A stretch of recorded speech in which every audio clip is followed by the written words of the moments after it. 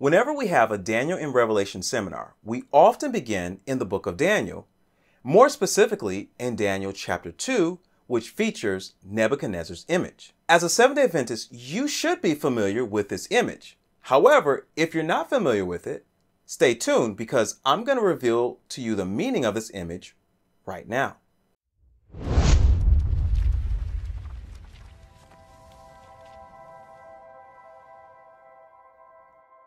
In Daniel 2, we read about King Nebuchadnezzar. He was the king of Babylon, and God actually revealed to this pagan king the future of the world through a dream. The problem was, the king didn't recall what the dream was about, but he knew it was important.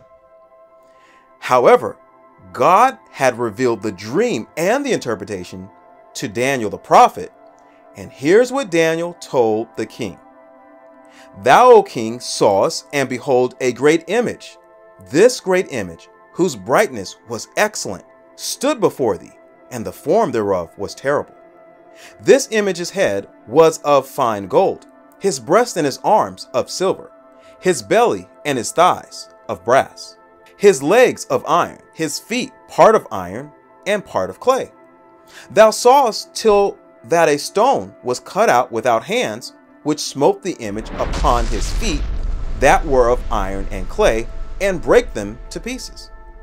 Then was the iron, the clay, the brass, the silver, and the gold broken to pieces together, and became like the shaft of the summer threshing floors, and the wind carried them away, that no place was found for them. And the stone that smote the image became a great mountain, and filled the whole earth. So, what does this dream actually mean? Well, in the next few verses, Daniel reveals to the king that he represents the head of gold.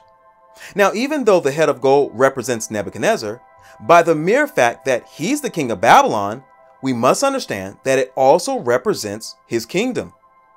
Then Daniel reveals that another kingdom would come after Babylon, and according to the historical record, the next kingdom symbolized by the arms and chest of silver would represent the dual threat Medo-Persian Empire. Now, after the fall of Medo-Persia, another kingdom would rise to rule the known world, and that nation, which was represented as the belly and thighs of brass, would be Greece. And finally, the empire symbolized as iron and succeeding Greece was the Roman Empire. Here we should also understand that this iron goes from its legs all the way into its feet and toes. This tells us that Rome, in some form or fashion, is the last world power. We also see that when you get to the feet and toes, that there is an infusion of clay mixed therein. What you must understand is this clay represents the papacy, which ruled parts of the Roman Empire.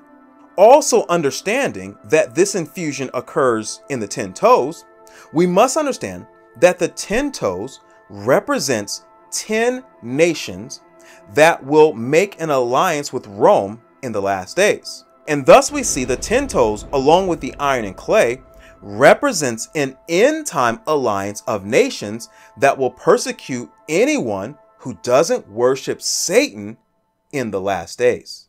However, regarding this end time alliance, Daniel then tells us that they shall mingle themselves with the seed of men, but they shall not cleave one to another, even as iron is not mixed with clay. This reveals to us that this end time alliance will not last. They will not cleave one to another. And finally, we see that at the end of time, a rock comes and destroys all these kingdoms. This rock represents the last kingdom, which is the kingdom of God. When Jesus Christ comes, he comes as King of Kings and Lord of Lords to rule this world for eternity. So now we should see that this image that King Nebuchadnezzar dreamed about represents the world's superpowers, beginning with the Babylonian Empire all the way down to the end time alliance of nations that gets destroyed when Jesus comes back.